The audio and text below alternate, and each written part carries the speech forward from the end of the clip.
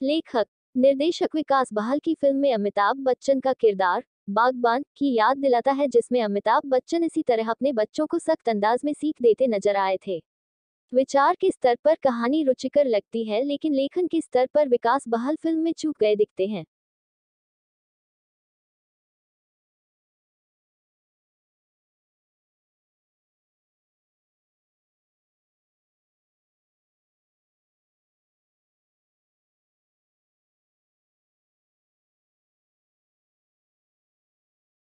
इंसान की मृत्यु के बाद उसका अंतिम संस्कार उसकी इच्छा के अनुसार किया जाए या हज़ारों साल से जो रीति रिवाज और परंपराएँ चली आ रही है उसके मुताबिक। आज की नई पीढ़ी का इस पर अपना अलग तर्क है और वर्षों से चली आ रही रीति रिवाज और परंपराओं का अपना अलग मत।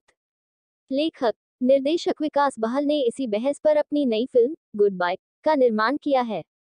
फ़िल्म में अमिताभ बच्चन का किरदार, बागबान, की याद दिलाता है जिसमें अमिताभ बच्चन इसी तरह अपने बच्चों को सख्त अंदाज में सीख देते नज़र आए थे। मंगलवार को 80 साल के होने जा रहे अमिताभ बच्चन की कंपनी सरस्वती एंटरटेनमेंट इस फ़िल्म की निर्माता भी है।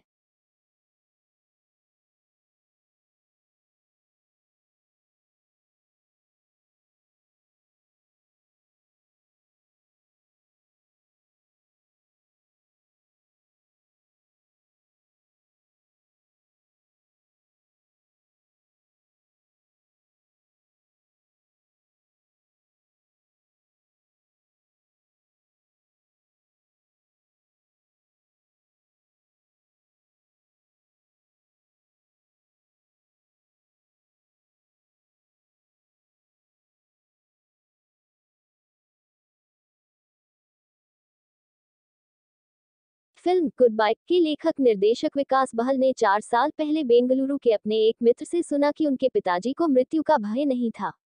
वह तो इस बात से खुश थे कि मृत्यु के बाद वह भगवान कृष्ण के पास चले जाएँगे। उन्होंने कहा कि मेरे मरने के बाद तुमको जो भी करना होगा एक ही दिन कर देना। हर साल मेरा श्राद्ध मत करना क्योंकि मैं ठीक उसी तरह से डिस्टर्ब हो जाऊँगा जिस तरह से अगर तुम किसी पार्टी में एंजॉय कर रहे हो और मैं बार बार फ़ोन करूँ। इसी थीम पर विकास बहल ने गुड बाय बनाए और पिता के बजाय कहानी के केंद्र बिंदु में माँ को रख दिया।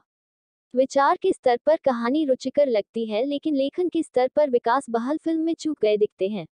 मृत शरीर को नहलाकर उसके कान और नाक में रुई डाली जाती है। इसके पीछे वैज्ञानिक मान्यता यह है कि मृतक के शरीर के अंदर कोई कीटाणु ना जा सके। पैर के दोनों अंगूठों को बाँध दिया जाता है ताकि शरीर की दाहिनी नाड़ी व बाई नाड़ी के सहयोग से मृत शरीर सूक्ष्म, कष्टदायक वायु से मुक्त हो जाए। बेटी को यह सब अंधविश्वास लगता है। उनका मानना है कि माँ को यह सब पसंद नहीं था। उसकी अपने पिता से बहस हो जाती है। पिता का कहना है कि हज़ारों साल से चले आ रहे रीति रिवाज अंधविश्वास कैसे हो सकते हैं? वो अपने बच्चों को डांटते हुए कहते हैं, हज़ारों सालों से ये रीति रिवाज चले आ रहे हैं। अगर तुम्हें उनमें विश्वास नहीं है तो इसमें दुनिया की गलती नहीं है। बाद में उन्हें भी एहसास होता है कि उन्होंने यह कभी जानने की कोशिश ही नहीं की कि आखिर में उनकी पत्नी क्या चाहती थी। इंसान अपनी मौत किस तरह से चाहता है और मौत के बाद परिवार वाले किस रीति रिवाज से मृतक का दाह संस्कार करते हैं? रीति रिवाज के वैज्ञानिक कारण क्या हैं? इस विषय के इर्द गिर्द विकास बहल ने फ़िल्म बनाने की कोशिश की है। लेकिन वह लेखन और निर्देशन दोनों स्तर पर चूक गए हैं। फ़िल्म के एक सीन में दिखाया गया है कि अमिताभ बच्चन और नीना गुप्ता अनाथालय में एक सिख बच्चे को गोद लेने जाते हैं। माँ कहती है कि बच्चे पाने का यह तरीका बहुत अच्छा है। इससे फीगा भी ठीक रहता है और बच्चा भी मिल जाता है। लेकिन, पूरी फ़िल्म में इस बात का कहीं भी ज़िक्र नहीं है कि दंपति के बाकी तीन बच्चे भी गोद लिए गए हैं या उनकी खुद की संतानें हैं। अभिनय के लिहाज से रश्मिका मंदाना को इस फ़िल्म से बहुत आस रही होगी। फ़िल्म पुष्पा द राइज, के ज़रिए पैन इंडिया स्टार बनी रश्मिका मंदाना ने इस फ़िल्म से हिंदी सिनेमा डेब्यू किया है। लेकिन, एक डेब्यू फ़िल्म के लिए जैसा किरदार और जैसा अभिनय उनका होना चाहिए था, वैसा असरदार ये किरदार नहीं है। बीती सदी के महानायक कहलाए अमिताभ बच्चन के अभिनय में भी ऐसा कुछ नहीं है जो वह पहले न कर चुके हों। अभिनय उनका शानदार है लेकिन ऐसा ही अभिनय वह पहले भी कर चुके हैं।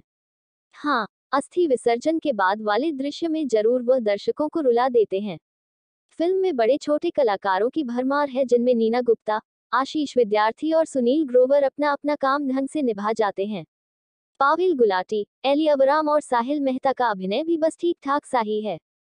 कहानी से लेकर निर्देशन, अभिनय और गीत संगीत के स्तर पर अंत तक समझ नहीं आता कि आखिर विकास बहल कहना क्या चाहते हैं। बेटी अपनी जीत की खुशी अपनी माँ से नहीं शेयर कर पाए, इसका उसे दुख होता है। लेकिन, ये जीत क्या थी, इसका फ़िल्म में कहीं भी ज़िक्र नहीं है। फ़िल्म में कहने को नौ गाने हैं, लेकिन जयकाल महाकाल के अलावा ऐसा कोई गीत नहीं, जो आपको याद रह सके। फ़िल्म की शूटिंग देहरादून और ऋषिकेश में भी की गई है, लेकिन यहाँ की खूबसूरती पर्दे पर अपने नैसर्गिक रूप में नज़र नहीं आती। फ़िल्म का संपादन भी और चुस्त हो सकता था।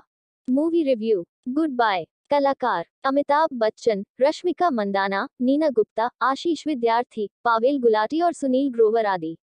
लेखक विकास बहल निर्देशक विकास बहल निर्माता सरस्वती एंटरटेनमेंट एकता कपूर शोभा